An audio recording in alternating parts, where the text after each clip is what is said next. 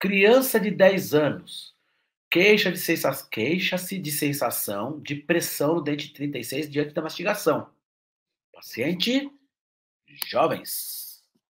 No exame clínico intrabucal, observa-se no dente relatado grande exposição da polpa, a exposta polpa, certo? E ela só se queixa de sensação de pressão diante da mastigação. Dói? Não. É agudo ou crônico. Paciente jovem que não se queixa de dor e tem polpa exposta.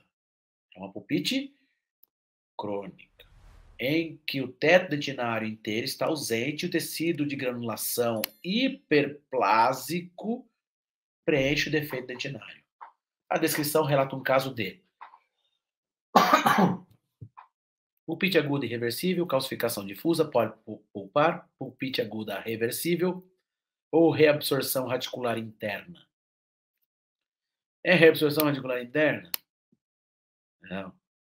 Pulpite aguda reversível não está com dor. Calcificação é degeneração pulpar, visto na radiografia. Pulpite aguda irreversível, não, não está com dor. Eu ficaria com pólipo pulpar.